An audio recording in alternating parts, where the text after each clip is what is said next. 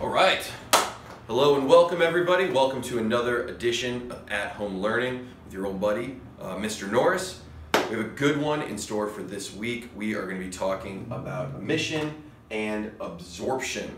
Um, ultimately, what we're going to be getting to is what you see behind you, which is how fireworks actually end up working. And when we're talking about emitting and absorbing, the things that we are absorbing and emitting are actually going to be light. So we're going back into the realm of talking about light. And this is a pretty cool one, okay?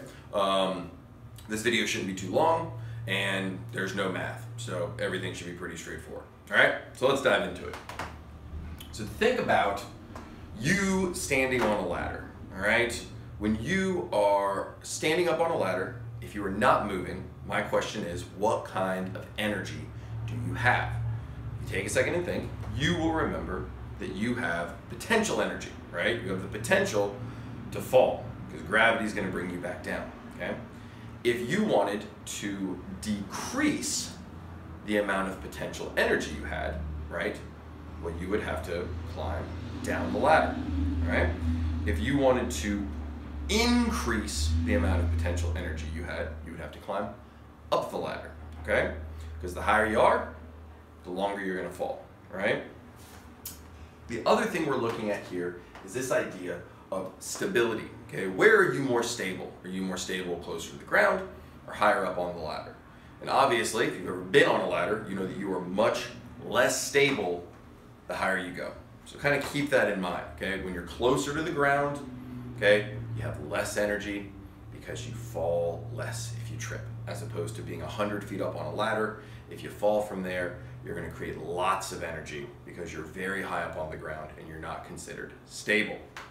All right, so what we're going to be looking at are electrons in atoms. So you remember atoms are the little things that make up everything. The middle of an atom is its nucleus, okay? That is what determines what that element is. So uh, if you have one proton, your hydrogen. You have two protons, your helium. Three protons, your lithium, and so on and so on. The electrons are very small and they're on the outside of an atom, okay? And as we've seen them, they can jump from one atom to the other, creating electricity. We can see them spin, which is what creates magnetism. And today, we are gonna see them absorb energy and spit it back out, okay? So, in an electron, what you have to realize is that we've seen this model before. If you remember, this is called the Bohr's model of an atom, and it's not 100% accurate as to what an atom actually looks like, but for today, this makes what we're gonna do really easy. So we're gonna stick with it, okay? Here you'll see that we have these orbits, right? Okay. These orbits start close to the nucleus and move farther and farther out, all right? The orbit that is closest to the middle of the nucleus we call the ground state, okay? This is like being on the flat ground, okay? The closer you are to the nucleus, the more stable you are, okay? The less energy you have. It's like being on the ground. You don't have a lot of energy. But as you get away from the nucleus and you go into these higher orbitals, okay, you are now becoming, uh, you're gaining energy, right? You're going up the ladder. The higher up the ladder you are, the more potential energy you have. But because you have more potential energy, all right, that means that you are less stable, all right? And like us, electrons do not like to be unstable. It's not a good feeling for them, all right? So electrons want to be as close to the nucleus as possible, pretty much at all times. All right. So what do we see here? The higher the orbit, the more energy it has, and the less stable the atom is. And excited electrons, okay, want to jump back down and become stable. So again, we've seen this model a bunch of times. Uh, here we have uh, an element that has six electrons in it, and over here we have an element that has a ton, probably like 60 or 70 electrons and protons and neutrons in it. This is true for all elements and all atoms that we're going to talk about. Okay, so how does an electron go from one orbital to the next? How do we jump from the ground state up, right? But the way you have to do that is you have to get energy. And In this case, we call that absorption, okay? So here's what we see. Here we have the nucleus of an atom. Here is our electron, Okay? Our electron starts off at the ground state. It's just hanging out, minding its own business. Okay? But then all of a sudden, what happens is a beam of light comes and shines on the atom. Right? The electron is able to absorb some of that light. Okay, remember, light has no mass, but it's full of energy. Okay, that's what light is. It's little packets of energy. Okay, the electron is able to absorb some of that energy, and when it does that, it's like you drinking a Mountain Dew. All right, taking a five-shot uh, espresso from Starbucks, just sculling it. You gain energy. The electron is gaining that light's energy, and when it does, it jumps up to a more excited state. It gets farther away from the nucleus because it has more energy. All right. This is called absorption. Okay. So again, the electron absorbs light. Okay. And remember, we call that a photon, and all a photon is is a unit of light. Right. The electron becomes super excited. Okay.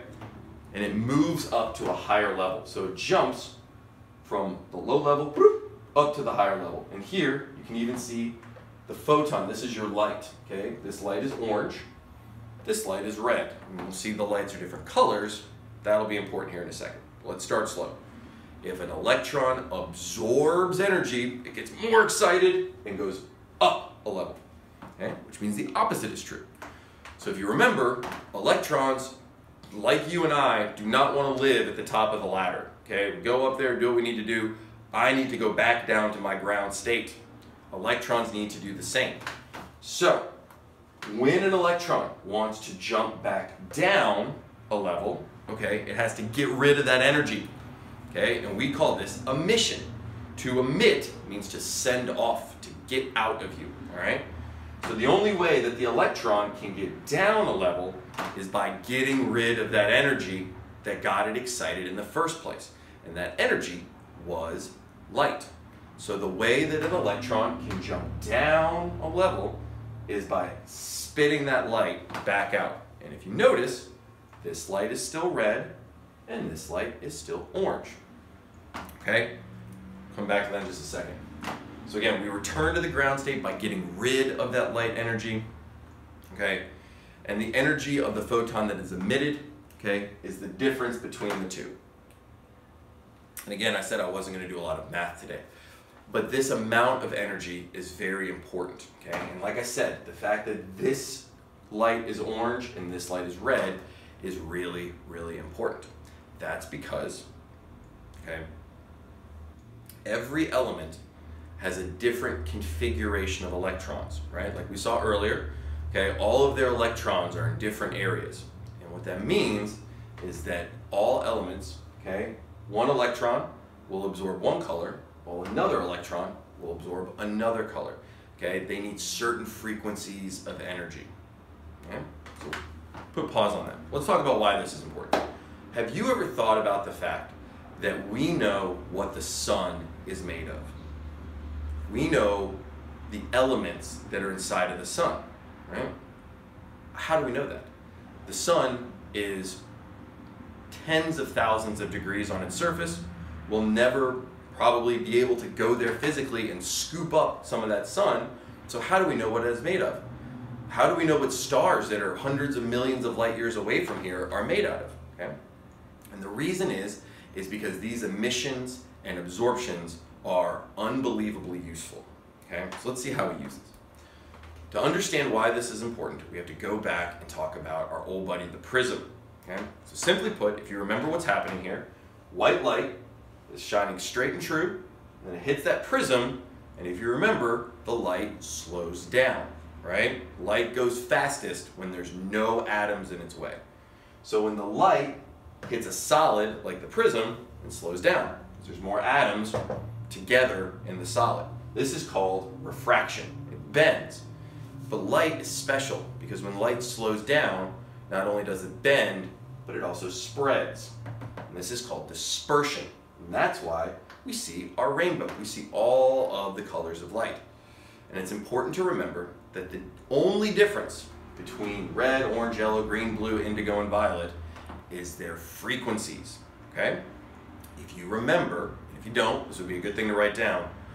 the color with the highest frequency is violet, and the color with the lowest frequency is red. Okay? That's because red has a really long wavelength, okay, so it has a low frequency. Violet has a really high wavelength, okay, so it has a really high frequency. Or sorry, it has a really short wavelength, so it has a really high frequency. Okay, so again, what we're seeing here is we're seeing the light spread out.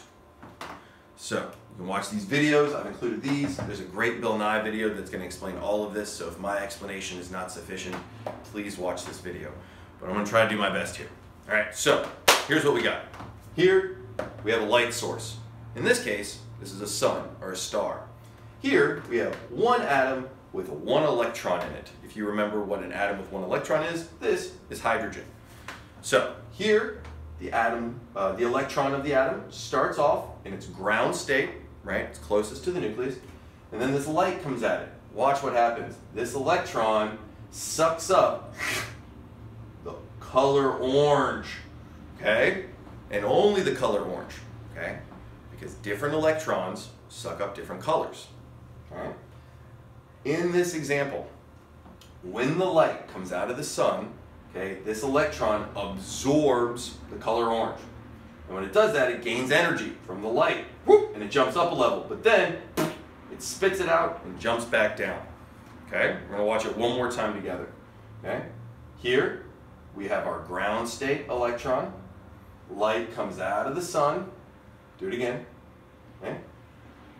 This electron absorbs the frequency of orange light, which means the orange light is sucked up and then spat out. And then it sucks it up again, jumps up, spits it out again, jumps back down.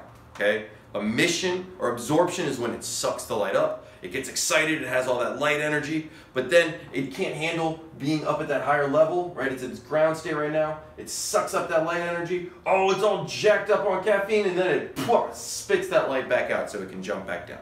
Emission, absorption. And the reason this is important because if we look at light coming from, let's say, our sun, if we put that light and turn it into a full continuous spectrum, and all that means is this is a complete and total rainbow. Okay? As the light is going through the gas of the sun, the elements, the atoms that make up the sun are sucking up. They're absorbing some of the color that's coming out, right? The atoms inside of the sun can absorb the frequency of certain colors of light. And what scientists have figured out is that every element Every type of atom has its own spectrum. For example, here, these are what we call our emission spectrums. These are the colors that are spat out, okay, when the electrons jump back down. So in this case, sodium, okay, when its electrons go from a high level to a low level, the color it spits out is yellow, okay? Lithium, on the other hand, spits out red and yellow and blue and purple in these particular frequencies, right? But we also see this is the absorption spectrum. This is the continuous spectrum for lithium. And notice the colors that get sucked up, these are backwards, so it's kind of hard to see. But look at this. You have this purple and this purple and this blue and this blue. Look at that. Purple, purple, blue, blue. They're all sucked out the same. See that orange right there? That came from right there. there's a little bit of red that's missing from this one but they're like two pieces of a puzzle that go together perfectly. When light goes through lithium, okay, that continuous spectrum, when it goes through a lithium atom, okay, that lithium atom's electrons suck up these colors. They get excited, they jump up a level, okay? But then when they're really excited, they need to jump back down a level, so they spit out those exact same colors. This is how we know what stars are made out of. This is how we know what our sun is made out of. It's because we're able to use these spectrums. It's pretty cool, right? So again, what you notice here, okay, uh, I think this is lithium again. It's a great example, right? Here's your absorption spectrum. This is what it looks like when you take the energy out of the light, okay? The atom's sitting there minding its own business its electron sucks up that energy, and that energy is these specific frequencies. When it jumps back down, it spits out those exact same frequencies. Okay? The science of studying light uh, is called spectroscopy. Okay, what you're looking at is a spectrum. You're studying the spectrum, and you're studying which bits of the spectrum each element is able to absorb. Um, again, this works. The reason we have spectroscopy, and this is important, is because every element has its own distinct uh, electron configuration. Okay, every element, whether it's helium or iron or uh, manganese or whatever you're looking at, the, all of their electrons have a different shape. And because of that, electrons from different elements need different amounts of energy to be excited. Those different frequencies of energy are exactly the same as the frequencies of light that they absorb. Okay? So again, just so you keep seeing it, this is an emission spectrum. This is an absorption spectrum. And again, I keep using lithium here as our example. All right? It's pretty cool. So emission spectrums, how does this work? What happens is you have, okay, you have this high energy level and you have this low energy level. When an electron jumps from a high energy level to a low energy level, it loses energy. It goes down. That lost energy is light that it spits out. Okay? So what we have here, right? Uh, an excited electron drops to a lower state. It loses a what we call a discrete, and all this word means this is a great SAT word. It means specific. A discrete amount means you know it's not it's not 1.5, it's not 1.7, it's exactly 1.6. It's a discrete specific amount. Okay? The emitted photons have a specific color, which is the same as the energy that they absorb. And we can use spectroscopes to analyze those colors and tell you that star right there is made up of 95% helium and 4% hydrogen, or whatever it is. Again, emission spectrums look like this. Okay, emission spectrums are the ones that have more black uh, and less color in them, because only a small sliver of light is emitted when the electron jumps down. Again, you have hot gas, okay, light goes through the gas, goes through a prism, and then we can see it. Absorption spectrums are the opposite. Okay, absorption spectrums are the whole continuous spectrum and just those little slivers of color that the electrons are absorbing. Okay? What happens here is you have white light has all of the colors. That pure white light goes through a gas, and each type of gas absorbs different frequencies. All right? And again, this is what we can see through. So again, you have a light source. You have a light source, you have a cold gas, the light goes through the gas, which goes through the spectrum, which goes here. I'm sorry, I said something wrong. I don't know if you caught this. In an emission spectrum, we start off with a hot gas, and that hot gas is already emitting. So this gas is already heated, it's already absorbed light, and now it's spitting it back out. So the light's coming straight from the gas. That was really more for me. But if that helps you, good. Okay, spectroscopy. Again, it uses white light the white light is scattered into all of its different wavelengths. We make a rainbow. And when we see what piece of the rainbow a certain atom absorbs, that's how we know what it is. So let me show you examples here. Okay, you can think of this spectroscopy is almost like um, there's like a fingerprint to every single atom, to every single element. So here are three examples, and I know this might be kind of hard to read. Here are the emission spectrums for helium, hydrogen, sodium, and lithium. Okay, you'll see it's all black, but they have certain colors here. And these are, obviously there's no color here, this is black and white, but the lines are in the right place. Okay, your reds would be over here, your blues and purples would be over there, but all we care about is where the line is. Okay? So here, we have a mystery spectrum, okay? If we see light that looks like this coming out of a star, well, you just match it up. So let's look. Here, I have these two lines right here. We'll go up. Which element has those two lines in the spectrum? Ah, sodium. Okay, so we know that this element has sodium in it, but it also has these two lines. Which element has these two lines? Well, they're right there. That'd be lithium. So the gas that we're seeing is made up of sodium and lithium. Ta-da! You just identified what a star is made out of. Let's do it again. All right, so take a second. You can pause the video if you want to play along. Look at this. And as you see here, so we have these two lines here. Go up. Where do we see these two lines? I see those in hydrogen. Let's double check. We got these two lines. We got that line right there. Good. We got one, two, three. All right, so all of the lines in hydrogen are there. I know hydrogen is in my gas. What else is there? Well, I see. Let's see here. What else do we have? We got this little line right here. Where do we see this line? Oh, we got that right there. And this line is right there. So I know there's lithium. This is hydrogen and lithium. That's our mystery gas. Last but not least, ooh, we got a bunch. So let's look at this. We have these two lines at the end, so that's got to be our hydrogen. We got those two. That one. Good. We have this one all by itself. That means we have to have helium. So here we have hydrogen and helium. Ta-da! All right. So that is it for this week. Uh, I'm going to be on Zoom all during the week if you guys have any questions.